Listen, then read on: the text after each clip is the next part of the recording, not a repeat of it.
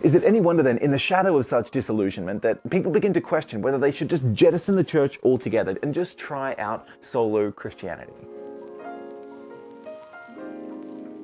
Whether you're a newcomer to the Christian story or a Christian with tenure, it's easy to become disillusioned with the church. I mean, if Christians are meant to be like Jesus, then churches should be amazing, right? These life giving, truth speaking, grace extending communities centered around love. Which is why reality tends to smack us in the face.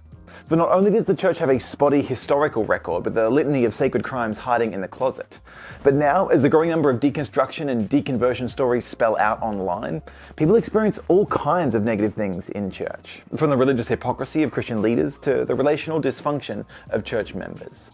Now, sometimes the letdown is relatively benign, as we question whether the time, energy, and money poured into church is it actually doing anything? Is it really worth it? But other times, the trauma is real, where people whom God loves have become the victims of one of the many evil faces of abuse. Is it any wonder then, in the shadow of such disillusionment, that people begin to question whether they should just jettison the church altogether and just try out solo Christianity?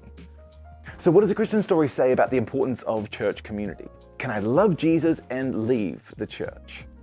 Well, the truth is, I resonate with those who sometimes struggle with the church. And my heart is especially heavy for those who were hurt in the very communities that God intended to bring healing. What I want to say to you, though, if you have been wounded by Christians, is that leaving a church does not have to be the same thing as leaving the church. If a church has become toxic, then undoubtedly the right thing to do, depending on your capacity, is either to expose what is evil or get out safely, potentially both. If the teaching or the culture of a church goes against Jesus, then you can absolutely love Jesus and leave.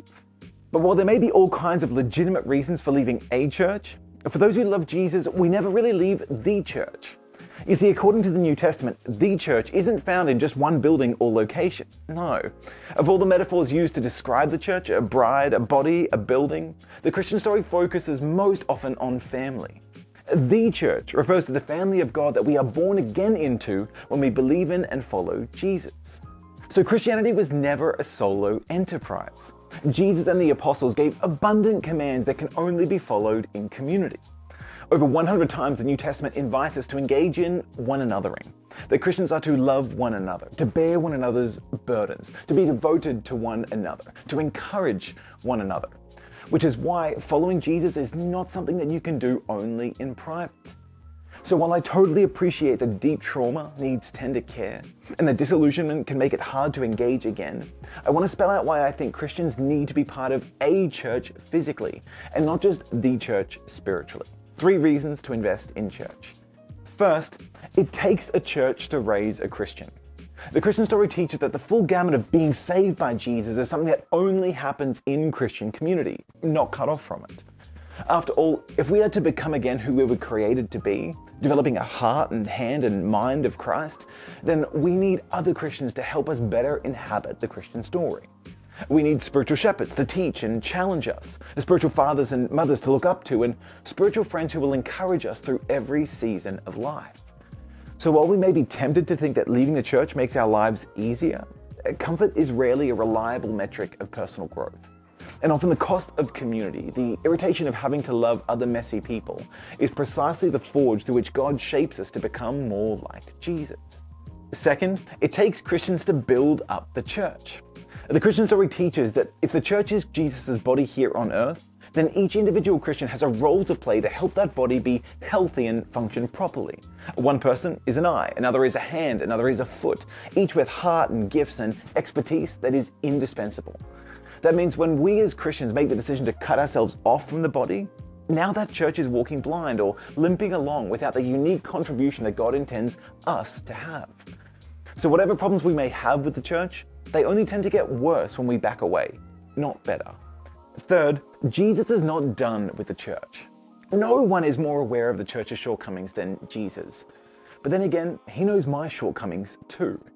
And what's so incredible about the Christian story is that, unlike me, Jesus is not tempted to walk away when people let him down. Jesus loves the church. Described as his bride in the New Testament, Jesus has a vision for who the church can become. And he knows that by loving her, she can become lovely. That through sacrifice and devotion, she can be made beautiful.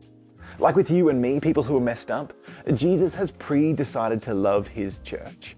Which is why, if you love Jesus, he invites us to make that same pre commitment to love the church, to play our part in helping her become beautiful and a beacon of hope to the world. When we see how far a church falls short of her potential, we only have the beginnings of a prophetic voice. For that voice to mature to where it echoes the love of Christ, our sword of critique in the one hand needs to be matched with a cross of sacrifice in the other, where we are willing, like Jesus, to lay down our lives to see her built up. So, can I love Jesus and leave the church? Let me suggest that what God has joined together, let no person separate.